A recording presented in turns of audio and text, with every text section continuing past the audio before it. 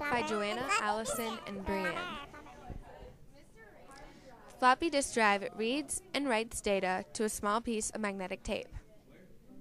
The floppy disk drive. Flopper, flopper. The floppy disk drive. Flopper, flopper. The floppy disk drive. Flopper, flopper. Magnetic endocoding is how information is processed on a floppy disk. This is a floppy disk. See, it is floppy. First, you jimmy the floppy disk drive into your computer. You will hear a little click once it is successfully installed. Next, you plug the 4 pin power cord into the floppy disk drive. Then, you plug the IDE floppy cable into the floppy disk drive.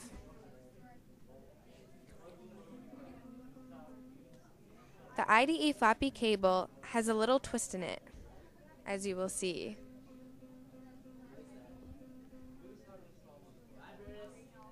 You plug the IDE floppy cable into the floppy disk drive and into the motherboard.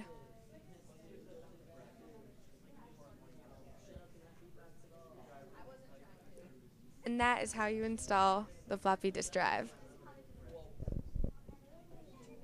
The floppy disk drive. Flopper, flopper. The floppy disk drive. Flopper, flopper. The floppy